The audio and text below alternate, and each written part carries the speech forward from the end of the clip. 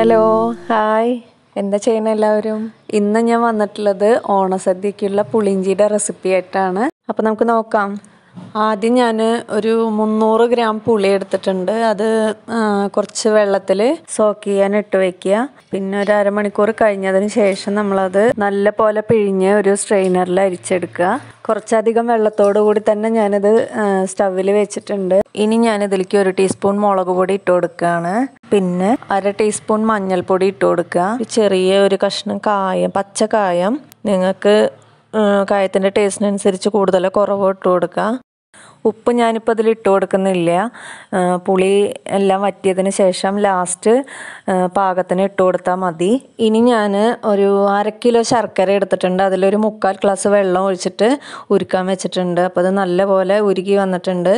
ഇനി ഒരു സ്ട്രെയിനറിൽ നമുക്കിത് പുളിയിലേക്ക് ഒഴിച്ചു കൊടുക്കാം. വെറുതെ അങ്ങനെ ഇട്ട് കൊടുത്താലും മതി. പക്ഷേ വല്ല കല്ലോ എന്തെങ്കിലുമൊക്കെ ഉണ്ടെങ്കിൽ നമുക്ക് ഉരുക്കി ഒഴിക്കുന്നതാണ് ഏറ്റവും നല്ലത്. ഇനി ഇത് നന്നായി ഒന്ന് തിളച്ച് കുറുകി വരുന്നവരെ നമുക്ക് വെയിറ്റ് ചെയ്യാം. ഇനി ഞാൻ ഒരു ഇരുന്നൂറ് ഗ്രാം ഇഞ്ചി ചെറുതാക്കി നുറുക്കിയിട്ട് അത് വെളിച്ചെണ്ണയിലൊന്ന് വഴറ്റി കൊടുക്കുകയാണ് ഇതിന്റെ കൂടെ നൂറ്റൻപത് ഗ്രാം പച്ചമുളക് ചെറുതായി അരിഞ്ഞിട്ട് ഇട്ട് കൊടുത്തിട്ടുണ്ട്. രണ്ടും കൂടെ വഴറ്റിയതിന് ശേഷം ഇഞ്ചിക്ക് ഒരു ചെറിയ ബ്രൗൺ കളർ വരുമ്പോൾ ഇത് പുളിയിലേക്ക് ഒഴിച്ചു കൊടുക്കണം. ഇനി ഇത് നന്നായി ഇളക്കി മിക്സ് ചെയ്ത് കൊടുക്കുക. എന്നിട്ട് ഉപ്പ് നോക്കിയിട്ട് പാകത്തിന് ഉപ്പിട്ട് കൊടുക്കുക. ഞാനിപ്പോൾ ഒരു ടീസ്പൂൺ ഉപ്പിട്ട് കൊടുത്തിട്ടുണ്ട്. നേരത്തെ ഞാനിതിൽ ഇട്ടിട്ടുണ്ടായിരുന്നില്ല. ഇതിലത്തെ വെള്ളമൊക്കെ ഏകദേശം വറ്റി തുടങ്ങി. അപ്പോഴേക്കും നമുക്ക് ഇതിലേക്ക് കുറച്ച് പൊടികൾ ചേർത്ത് കൊടുക്കണം. അതിന് വേണ്ടിയിട്ട് ഒരു പാൻ അടുപ്പത്ത് വെച്ചിട്ടുണ്ട്. അതിലേക്ക് രണ്ട് ടേബിൾ സ്പൂൺ വെളിച്ചെണ്ണ ഒഴിച്ചു കൊടുക്കുക. എണ്ണ നല്ലപോലെ ചൂടായിട്ടുണ്ട്. ഇനി ഇതിലേക്ക് ഒരു ഒന്നര ടേബിൾ സ്പൂൺ ഉഴുന്നിട്ട് കൊടുക്കുക. കൂടെ രണ്ട് ടേബിൾ സ്പൂൺ ഉലുവ ഇട്ട് കൊടുക്കുക. ഇനി ഇത് നന്നായി ഒന്ന് മൂത്ത് വരണം. ഏകദേശം ഒരു ബ്രൗൺ കളറൊക്കെ ആവുന്നത് വരെ നന്നായി ഒന്ന് ഇളക്കി കൊടുക്കുക.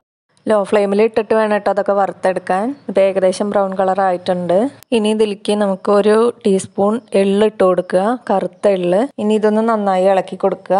എന്നിട്ട് ഇത് ഈ എണ്ണയിൽ നിന്ന് കോരി എടുക്കണം എന്നിട്ട്. ഇനി ഇത് മിക്സിയിലിട്ടിട്ടൊന്ന് പൊടിച്ചെടുക്കട്ടെ. ഇപ്പോൾ ദാ നമ്മുടെ പുളിയിഞ്ചി നന്നായിട്ട് വെള്ളമൊക്കെ വറ്റിയിട്ടുണ്ട്. ഇനി ഈ പൊടികളെല്ലാം കൂടെ ഇതിലേക്ക് ഇട്ട് കൊടുക്കുക. കുറച്ച് ഒരു പകുതി മുക്കാലും ഇട്ടതിന് ശേഷം നിങ്ങൾ ഒന്ന് ടേസ്റ്റ് ചെയ്ത് നോക്കുക. അപ്പോൾ അതിന്റെ ടേസ്റ്റും മണമൊക്കെ മതി എന്ന് തോന്നുകയാണെങ്കിൽ പിന്നെ ഇട്ട് കൊടുക്കണ്ട. അതല്ലെങ്കിൽ കുറച്ചും കൂടെ നിങ്ങളുടെ പാകത്തിനനുസരിച്ച് ഇട്ട് കൊടുക്കുക. നല്ല പോലെ ഇളക്കി മിക്സ് ചെയ്ത് കൊടുക്കുക. ഇപ്പോൾ കറക്റ്റ് വെള്ളമൊക്കെ വറ്റിയിട്ടുണ്ട്. ഇനി നമുക്കിതൊന്ന് വറവ് ഇടണം ഒരു പാൻ ചൂടാക്കിയിട്ട് ഒരു രണ്ട് രണ്ടര ടേബിൾ സ്പൂൺ വെളിച്ചെണ്ണ ഒഴിച്ചു കൊടുക്കുക. അതിലേക്ക് കടുക് ഇട്ട് കൊടുക്കുക. ഒരു ടീസ്പൂൺ നിറയെ ഇട്ട് കൊടുത്തിട്ടുണ്ട്. നിങ്ങൾക്ക് കൂടുതൽ വേണമെങ്കിൽ ഇടാം കേട്ടോ എനിക്ക് കടുക് വലിയ ഇഷ്ടമില്ലാത്തതുകൊണ്ട് ഞാൻ അധികം ഇട്ടിട്ടില്ല. പിന്നെ കുറച്ച് വറ്റൽമുളക് ഒരു നാലെണ്ണം പൊട്ടിച്ചിട്ട് ഇട്ട് കൊടുത്തിട്ടുണ്ട്. ഇനി ഇത് ചെറുതായി ഒന്ന് മൂത്ത് വരുമ്പോൾ അതിലേക്ക് കറിവേപ്പില ഇട്ട് കൊടുക്കുക. ഇനി ഇതിലേക്ക് ഒരു അര ടീസ്പൂൺ ഉലുവ ഇട്ട് കൊടുക്കുക. എന്നിട്ട് നന്നായി ഇളക്കി കൊടുത്തതിന് ശേഷം നമുക്കിത് പുളിയിഞ്ചിയിലേക്ക് ഒഴിച്ചു കൊടുക്കുക. നന്നായി ഇളക്കി മിക്സ് ചെയ്ത് കൊടുക്കുക. അപ്പോൾ നല്ല അടിപൊളിയായിട്ടുള്ള പുളിയിഞ്ചി റെഡി ആയിട്ടുണ്ട്. ഓണസദ്യയുടെ സ്പെഷ്യൽ പുളിയിഞ്ചിയാണ്. അപ്പോൾ എല്ലാവരും ട്രൈ ചെയ്ത് നോക്കണം. വീഡിയോ ഇഷ്ടമായാൽ ലൈക്ക് ചെയ്യാനും ഷെയർ ചെയ്യാനും കമന്റ് ചെയ്യാനും മറക്കരുത്. ചാനൽ എല്ലാവരും സബ്സ്ക്രൈബ് ചെയ്യണം. തൊട്ടപ്പുറത്തുള്ള കുഞ്ഞ് ബെൽ ബട്ടൺ ക്ലിക്ക് ചെയ്തിട്ട് അതിൽ ഓൾ എന്നുള്ള ഓപ്ഷൻ തന്നെ സെലക്ട് ചെയ്യാൻ മറക്കരുത്. അടുത്ത നല്ലൊരു വീഡിയോ ആയിട്ട് വീണ്ടും കാണാം. എല്ലാവരും സേഫ് ആയിരിക്കട്ടെ. ബൈ